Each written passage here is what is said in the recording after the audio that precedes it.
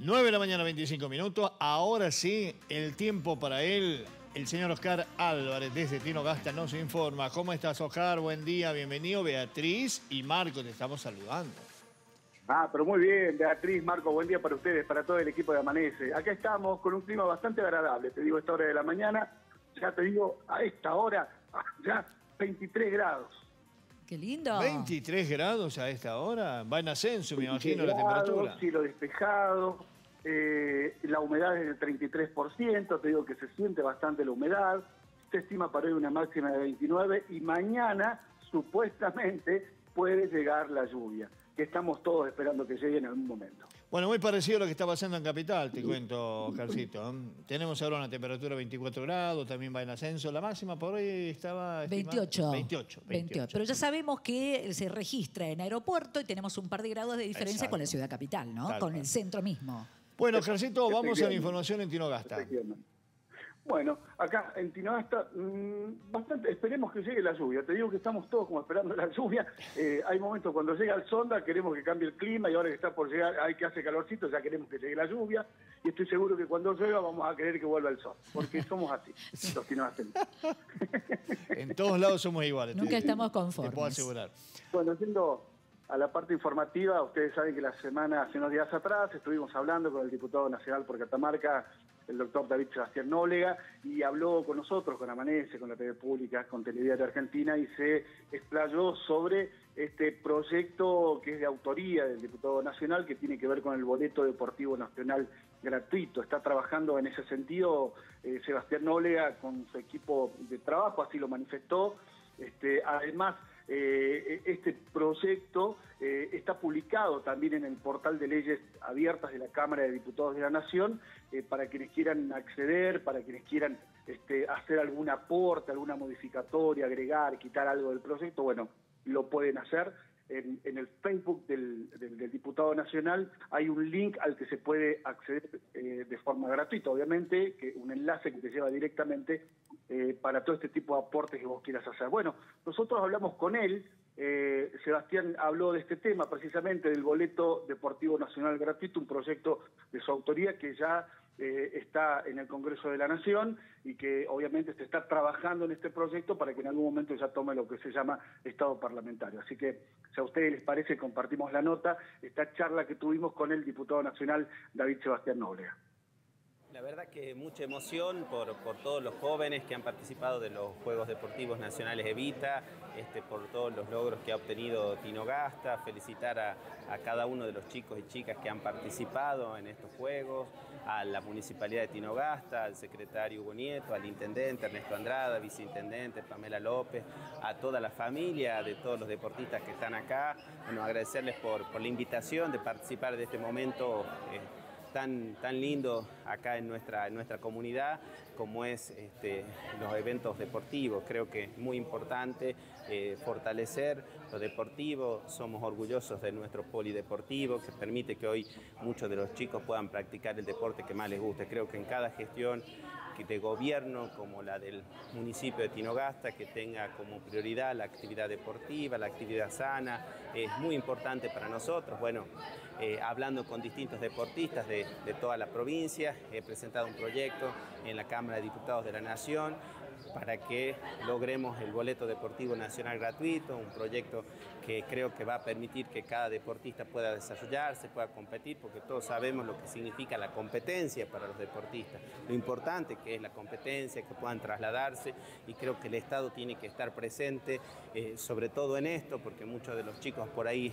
ven frustradas sus carreras deportivas porque no pueden participar de, distintos eventos en todo el país, así que bueno, hemos contado con apoyo de distintos legisladores, hoy pueden acceder también al link de las leyes abiertas de la Cámara de Diputados de la Nación. Hay unos 15, 16 días más para que toda la comunidad haga sus aportes, para que dé su punto de vista sobre este proyecto, que creo que, que es muy importante para el deporte, no solo de nuestra provincia, de Tinogasta, sino también de, de todo el país. Mire, lo más importante es que se han armado muchas escuelitas deportivas que antes no existían. Yo creo que la prioridad siempre ha sido que los chicos hagan y practiquen el deporte que, que más les gusta. Creo que ese es el gran anhelo de, de toda gestión de gobierno y me da mucha alegría que, que Ernesto, con el equipo, con Huguito, que Huguito ha sido un deportista muy destacado y lo es a, nivel nacional. Entonces alguien que conoce de cerca el deporte, que lo ha vivenciado y sabe lo que significa el sacrificio, el trabajo. Así que bueno, la verdad que es una, una alegría enorme de que el municipio esté presente con los jóvenes, que fomente el deporte, una alegría ver a todas las familias acompañando a los chicos en esto que, que es tan, tan importante. Dios quiere que prospere este proyecto, Oscar. Ojalá que sí, porque es un proyecto importante, ¿no? Beneficia a todos los deportistas de Catamarca y que vos sabés que de manera constante Catamarca tiene deportistas en distintas disciplinas que están viajando a distintos puntos del país, inclusive fuera del país, eh, y siempre obviamente requieren de la ayuda del Estado, eh, para poder hacerlo, porque los costos cuando se viajan son muy altos y siempre, siempre están necesitando este, alguna ayuda o la intervención del Estado para poder lograr a veces simplemente, digo, el viaje, para poder estar en alguna competencia, ya sea de característica nacional o internacional, ¿no?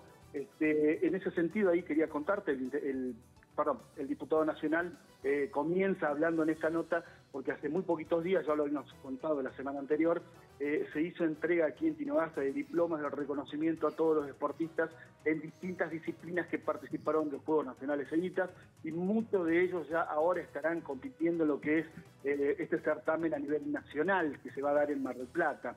Este, bueno, por lo importante lo del boleto, como decías vos, porque bueno, este, de alguna forma eso va a venir a, a solventar algunos gastos, a aliviar un poco el viaje que muchos deportistas de, ya a nivel nacional, ya ni siquiera hablamos de únicamente de deportistas de Catamarca, sino deportistas de todo el país que quieran viajar a lugares donde es sede de alguna competencia o de alguna disciplina este, y se va a aliviar esos costos que a veces son muy caros. Y te digo más, que muchos deportistas, yo eso lo puedo ver aquí en Tinoasta, muchos deportistas muchas veces no pudieron viajar casualmente por una cuestión económica y se perdieron de algún certamen de característica nacional o internacional, ¿no?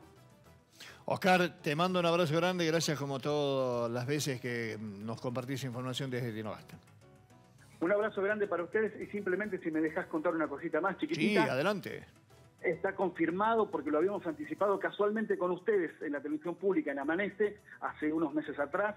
Eh, Tinogasta va a ser sede de los Juegos Deportivos Atacalar 2024.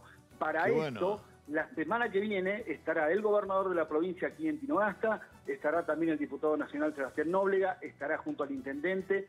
Todavía no tengo confirmado si alguna eh, autoridad de, de la parte de Atacalar estará aquí, pero sí estarán oficialmente ya anticipando que Tinoasta será sede internacional de los Juegos Deportivos Atacalar 2024. Así con esto eh, cerramos eh, esta, intervención. Oscar, qué maravilla eso porque permite una explosión turística, porque estamos hablando de Atacama, Catamarca, La Rioja y más aún todavía cuando muchos otros también se han unido a estos juegos, a estas posibilidades de producción y deportivas en este caso. No, sí, por supuesto, va a generar un, movimiento tremendo. Inclusive es como que también de alguna forma va a lograr el polideportivo municipal, el gigante de Tinoasta, eh, tener esa difusión que tanto necesita. Estos juegos eh, deportivos eh, de Atacalar se van a dar entre el 18 y el 23 de noviembre. No falta mucho porque los días pasan volando y hay que organizarse, hay que prepararse para todo esto porque va a llegar gente de distintos puntos de Argentina, obviamente, y también, obviamente, de países como, como Chile, va a llegar gente de Brasil, va a llegar gente de otros países de América Latina a participar precisamente de estos juegos. ¿no? Ya más, más adelante, si Dios quiere, vamos a tener alguna mm, eh, nota vinculada directamente a este tema y vamos a estar, por supuesto, anticipándolo aquí en Amanece. Oscar, abrazo grande. Abrazo grande para todos. Adiós. Hasta cada momentito, 9 de la mañana, 35 minutos.